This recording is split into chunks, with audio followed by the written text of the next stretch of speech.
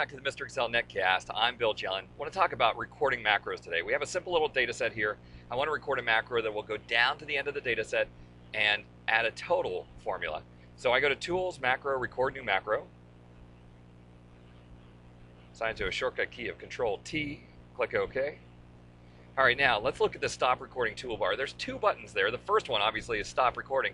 The second button is the important one. That's the relative reference. You want to make sure that that's turned on um, so it has the little square around it. That'll allow your macros to work more often. Um, so I'm going to hit the end key and then the down arrow key to move to the last row in the data set, and then one more down arrow to go down to the total row.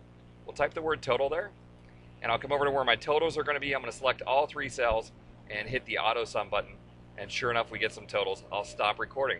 Now this worked out great. Let's say tomorrow I have a new data set. I'll go onto the second sheet here, and I run my macro, Control T, and sure enough, it puts the totals in. But hey, there's a huge problem. And if you're not careful, you're about to print this report and never notice the problem. Here's what happened. Because on the first day, I happened to have 13 rows. When I entered that autos button, it only recorded a total for the last 13 rows. And today, now I'm missing data.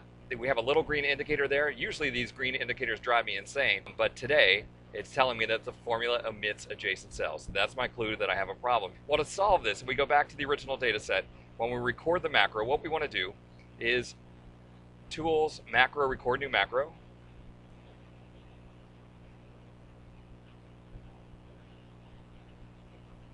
Hit the End key, down arrow key, type the word total.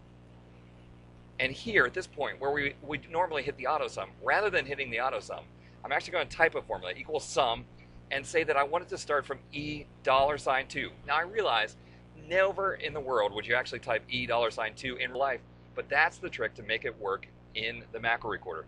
Going to E13 and the E13 is just relative. When we record the macro that way, we'll stop recording. You'll see that next day, no matter how many rows of data we have, it will work perfectly. So there we go, Control T. When we look at the formula now, it went back all the way up to row 2, down to the row just above. So you, when you're recording macros, a couple of things. First of all, make sure to hit the relative reference button.